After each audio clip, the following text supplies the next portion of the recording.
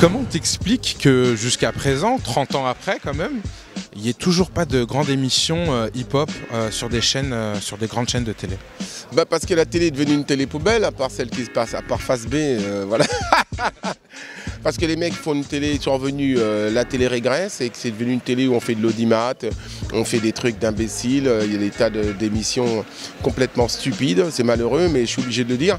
Et, et parce qu'on intéresse la ménagère, parce qu'il y a publicité, parce qu'on génère de l'argent et qu'on oublie la qualité et qu'on oublie la culture. La culture, on comme d'habitude à la télé, la culture passe après minuit et il n'y a plus rien du tout. Ça devient un, profond désastre culturel. Heureusement que le hip-hop euh, renaît de ses cendres depuis 30 ans et là montre qu'on n'a pas besoin des médias tels que de, grosses chaînes de télé pour que la culture avance. Quand une culture est bonne, de toutes les manières, d'elle-même, elle tient son fleuron et d'elle-même elle se bat, elle se construit sur elle-même. La culture hip-hop en plus, ça touche toutes les nations, tous les pays, toutes les races, tout, tout le monde. Donc à ce moment-là, c'est plus que social, c'est humain.